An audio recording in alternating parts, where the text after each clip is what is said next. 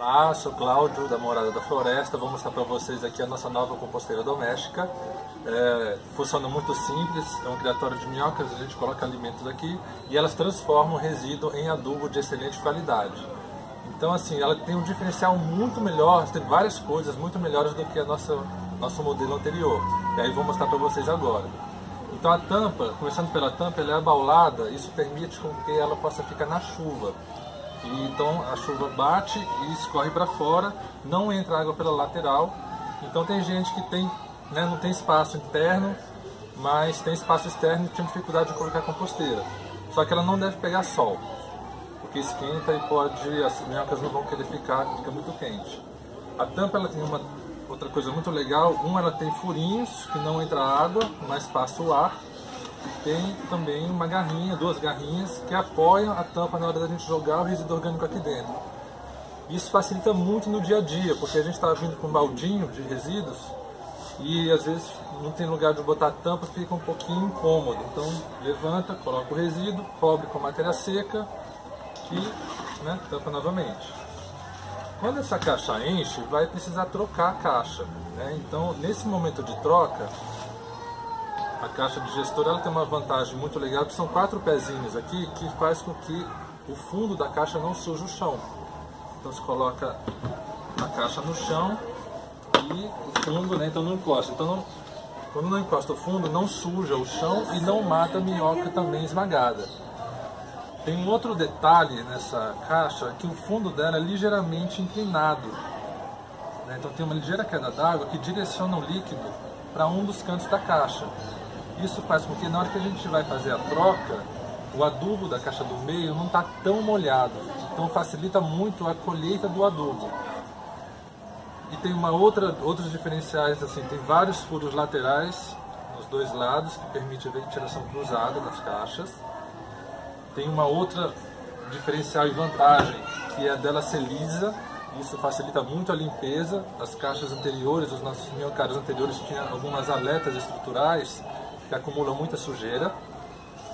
Tem uma vantagem muito legal na questão do envio, do transporte, que uma caixa entra dentro da outra. Essa parte da parede lisa também é para uma caixa entrar dentro da outra. E então tem essa peça aqui que é uma, a gente chama de anel, que é uma peça adicional justamente porque uma entra dentro da outra para ela não entrar na hora de usar.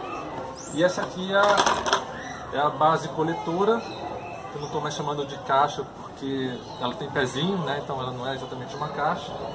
Então ela aqui tem uma ilha que faz com que ajuda as minhocas a não morrerem afogadas. Então essa caixa, ela coleta o líquido das outras, são furadas no fundo, não sei se deu para ver, mas elas uhum. têm bastante furos no fundo. Então o líquido aqui, ele, ele cai e já tem uma queda d'água que direciona 100% do líquido para a torneira. E se por acaso fica alguns dias né, sem coletar o líquido, fica uma piscininha, mas tem essa ilha que ajuda aí a resgatar as minhocas para a caixa de cima. É, uma vantagem também extraordinária é a possibilidade de botar rodízio. Né? Então assim, foi todo um projeto mesmo para aguentar a estrutura, aguentar peso. Né? Como que a gente coloca um rodízio para aguentar, sei lá, até... Tudo isso aqui foi projetado para aguentar mais de 100 quilos né, porque a composteira aqui, a UMI, ela pode ser montada com quatro caixas. Então quatro caixas dessa cheia fica bem pesado, mas ela está bem reforçada para aguentar esse peso. Então assim, no miocárdio anterior a gente colocava a torneira na, na lateral e nunca consegue tirar todo o líquido. Então sempre fica essa piscina que acaba matando as minhocas. Então essas duas estratégias de ter a queda d'água que direciona para a torneira e a ilha, a gente também resolveu esse problema. E também um outro problema do miocárdio anterior é que ela, a, a torneira estava no chão da caixa, então você sempre precisava arrumar um suporte. Ou a pessoa arrumava, improvisava um suporte com tijolo, com madeira, com fazia meio que uma gambiarrazinha, ou até gastava também o dinheiro extra para confeccionar o suporte melhor. Então aqui ela já vai pronta, né? Pegar e começar a usar. Então essa é a UMI, UMI H-U-M-I, que é a união de humanidade, de homem, de humano com minhoca.